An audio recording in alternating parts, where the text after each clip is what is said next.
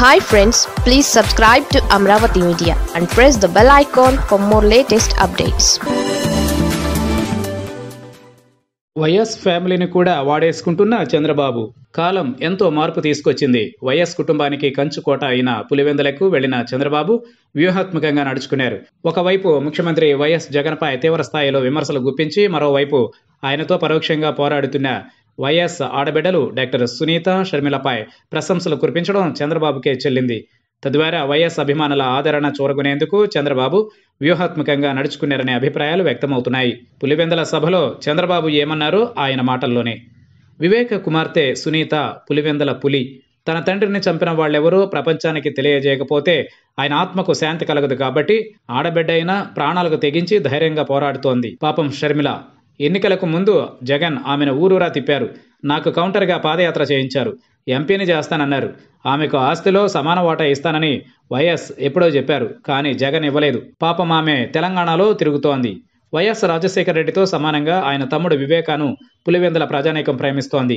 వైఎస్ఆర్ రాష్ట్ర రాజకీయాలు పరిపాలనాపరమైన అంశాలలో తల మునకలై ఉంటే అన్న ఆంక్షలకు తగ్గట్టు వివేక ప్రజలతో మమేకమయ్యేవారు. అన్న పులివెందుల్లో లేని లోటును వివేక భర్తీ చేసేవారు. అందుకే వైఎస్ఆర్తో కంటే వివేకతోనే పులివెందుల వాసులకు కొంత ఎక్కువ అనుబంధం ఉంది. అలాంటి వివేకాను హత్య చేయడాన్ని ఎవరూ జీర్ణించుకోలేకపోతున్నారు. తన తండ్రిని హత్య చేసిన వారిని సమాజం ముందు దోషులుగా నిలబెట్టేందుకు వివేక కుమార్తె చేస్తున్న పోరాటంపై ప్రజల్లో సానుభూతి ఉంది. కొన్ని సందర్భాలలో టీడీపీ నాయకులకు లాభం కలిగించేలా సునీత వ్యవహరిస్తున్నారన్న ఆరోపణలున్నా ఆడబిడ్డకు ఎవరో ఒకరి అండ కావాలి కదా అనే అభిప్రాయం ఉంది.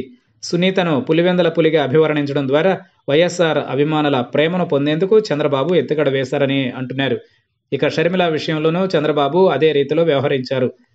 షర్మిలపై సానుభూతి చూపడం ద్వారా జగన్ వ్యతిరేకులను తన వైపు తిప్పుకునే ప్రయత్నం చేశారు. సొంత కుటుంబ సభ్యుల్ని దూరం చేసుకునేంత దుర్మార్గుడు జగన్ అని చంద్రబాబు చెప్పే ప్రయత్నాన్ని గమనించవచ్చు తన కోసం సుదీర్ఘ పాదయాత్ర చేసిన షర్మిలకు జగన్ అన్యాయం చేశాడని ఇక మీరు నేను ఎంత అని చంద్రబాబు ప్రశ్నించడం ఆలోచన రేకెత్తించేదే. వైఎస్ కుటుంబ సభ్యుల వేళ్ళతోనే జగన్ను పొడిచేందుకు పులివెందుల పర్యటనను చంద్రబాబు వాడుకున్నారు.